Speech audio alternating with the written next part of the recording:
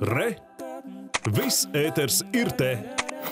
Jau vairākus gadus Latvija oficiāli ir no trakumsērgas brīva valsts. To gan nevar sacīt par mūsu kaimiņiem - Krieviju, Baltkrieviju un arī Ukrainu, no kurienes ierodas daudz bēgļi ar saviem maidzīvniekiem. Lai nepieļautu šīs nāvējošās slimības ienākšanu un uzliesmojumu mūsu valstī, Ukraiņiem savi mīluļi jāreģistrē Latvijas atbildīgajās iestādēs. Tikmēr pierobežā regulāri tiek vakcinēti savvaļas dzīvnieki. Arī šajā pavasarī pārtiks un veterinārais dienests vakcinēs savvaļas dzīvniekus pret trakumsērgu. Šīs infekcijas ierobežošanai nepieciešams pusmiljons devu, kuras līdz izmantošanai uzglabā pārvietojumā refrižeratorā mīnus 20 grādos.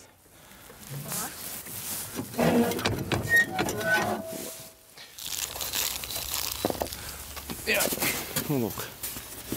Iekšā šis ir apkārt ir parafīns, zivju milti un šāda veida materiāls, kurš diezgan nelāgi ož, bet tādā veidā pievilina lapsas ienocuņas, viņiem. Tas, tas garšo un iekšā ir šobrīd vēl sasalis šis blisters, šis folija kapsula ar, ar sasalušu vakcīnu. Lai vakcinēšana būtu efektīva, rūpīgai jābūt ne tikai šādu kubiņu uzglabāšanai, bet arī izvietošanai mežos.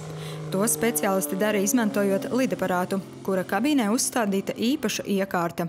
Cilvēki būtībā uz zemes ielādē noteikti plānoto skaitu ar, ar, ar vakcīnu kastēm, ar vakcīnu apjomu, daudzumu ielādē tādā rip, ripulī, ritenī, uz kā uztin šo, šo, šo lentu.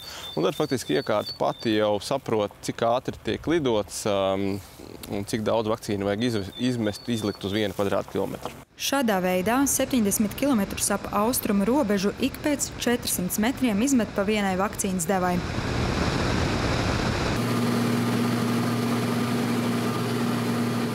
Divu nedēļu ilgajā dzīvnieku vakcinēšanas procesā iesaistīti kopā četri lidaparāti. Tas darba uzdevums eh, jau izplānot tālāk maršruts ir avio kompānijai. Un te faktiski mēs arī redzam, ka visa šī teritorija, šīs līnijas ir eh, katra krāsa faktiski parāda, eh, nu, piemēram, lidošana no Daugavpils, ja te ir viens maršruts vai viens sektors, kur dubultā tiek nosakta šī teritorija. Iekārta arī fiksē katras izmestās devas koordinātes, lai pēc tam pārliecinātos par vienmērīgu pārklājumu, kas slimības ierobežošanai ir ļoti būtiski.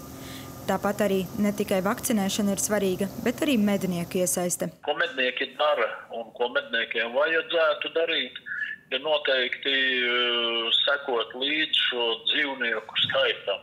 Ja, tātad pēc iespējas samazināt uh, šo dzīvnieku skaitu, tātad uh, populāciju apsēdināt un tādā veidā arī mazinot tos riskus, ja šī slimība atkal varētu parādīties. Mednieki nomedītās lapsas nododa dienestam pārbaudēm, kur tālāk pārbauda vakcīnas iedarbību.